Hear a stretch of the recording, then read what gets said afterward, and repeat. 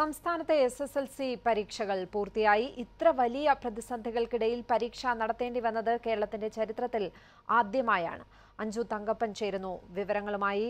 അഞ്ജു അവസാന ദിവസം പരീക്ഷ കഴിയുമ്പോൾ സാധാരണ നമ്മൾ കുട്ടികൾ പരസ്പരം മഷികുടഞ്ഞും കെട്ടിപ്പിടിച്ചുമൊക്കെ യാത്ര പറയുന്നത് കാണാറുണ്ട്.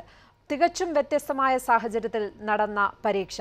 ഈ ഒരു പ്രതിസന്ധിയെ കുട്ടികൾ ഏത് രീതിയിൽ ഉൾക്കൊണ്ടതായാണ് അഞ്ജുവിന് അവിടെ നിന്ന് മനസ്സിലാക്കാൻ കഴിയുന്നത്? ഒപ്പം പരീക്ഷാക്രമങ്ങൾ അധികൃതരെ സംബന്ധിച്ച് സംബന്ധിച്ചിടത്തോളം എത്രത്തോളം ശ്രമകരമായിരുന്നു?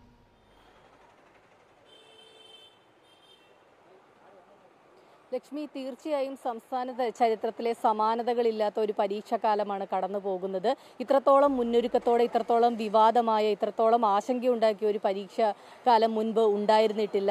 രാഷ്ട്രീയമായും സാമൂഹ്യമായും എല്ലാം തന്നെ ഈ പരീക്ഷയെക്കുറിച്ച് ഏറെ ചർച്ചകളുണ്ടായി. എന്തായാലും എസ് എസ് എൽ സി പരീക്ഷ ഇന്ന് പൂർത്തിയായിരിക്കുന്നു. വിദ്യാർത്ഥികൾ ഞാനിപ്പോൾ നിൽക്കുന്ന മണക്കാട് സ്കൂളിൽ ഒട്ടുമുക്കാൽ വിദ്യാർത്ഥികളും തിരിച്ചു പോയി കഴിഞ്ഞപ്പോൾ കുറച്ചു പേർ മാത്രമേ ഉള്ളൂ.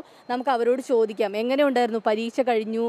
ഇപ്പോഴെന്താണ് അതിന്റെ ഒരു ആശ്വാസമുണ്ടോ ആ, നല്ല എക്സാം ഒക്കെ കഴിഞ്ഞു എല്ലാം കംപ്ലീറ്റ് ആയി. അപ്പോൾ ഒരു ഇത്രയും നാളിന് ശേഷം എക്സാം വന്നപ്പോൾ അതിപ്പോൾ കഴിഞ്ഞു. നല്ലൊരു രീതിയിലുള്ള ഇതുണ്ട്.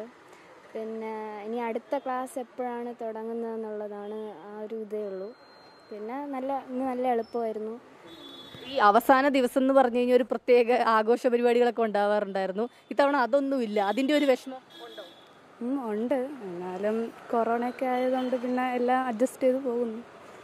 വേറെ ഈ മൂന്ന് ദിവസം ഇവിടെ എത്തിച്ചേരുന്നതിന് എന്തെങ്കിലും ബുദ്ധിമുട്ടുണ്ടായിരുന്നു? എങ്ങനെയാണ് അതിനുള്ള സൗകര്യങ്ങൾ എങ്ങനെയാണ്? നന്നായിരുന്നു. ഇവിടെ കയറി വന്നപ്പോഴത്തേക്കും സാനിറ്റൈസർ ഒക്കെ തന്നു. നല്ലത് ഇതൊരു ഇതുപോലത്തെ ഒരു അനുഭവം ഒരു പരീക്ഷ എഴുതിയ ഒരു അനുഭവം ഇല്ലല്ലോ. അപ്പൊ ഇത്തവണ ഈ ഒരു പരീക്ഷ എഴുതാൻ വീണ്ടും സ്കൂളിലേക്ക് വന്നപ്പോൾ മൊത്തത്തിൽ അന്തരീക്ഷം മാറി. അതിനെക്കുറിച്ച് എന്താ തോന്നുന്നത്? എന്തായാലും ഇപ്പൊ പരീക്ഷ നടത്തിയത് നന്നായി എന്നാണോ വിചാരിക്കുന്നത്? ആ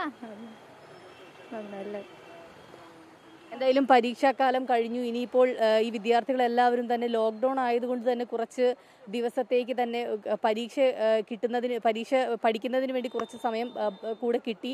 അതിന്റെ ഒരു ഒരു അതുകൊണ്ട് തന്നെ എല്ലാവർക്കും ഈ മൂന്ന് പരീക്ഷകളും വളരെ എളുപ്പമായിരുന്നു എന്നാണ് വിദ്യാർത്ഥികൾ പൊതുവേ നമ്മളോട് പറഞ്ഞത്. എന്തായാലും കഴിഞ്ഞ മൂന്ന് ദിവസത്തെ കണക്ക് നോക്കുകയാണെങ്കിൽ തൊണ്ണൂറ്റി ഒൻപത് പോയിന്റ് ഒൻപത് ശതമാനം വിദ്യാർത്ഥികളും സംസ്ഥാനത്ത് എസ് എൽ സി പരീക്ഷ എഴുതിയിരുന്നു.